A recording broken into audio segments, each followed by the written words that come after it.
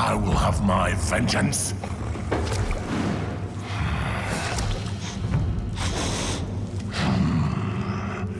The kid's dad ran off, but now you've shown up to me.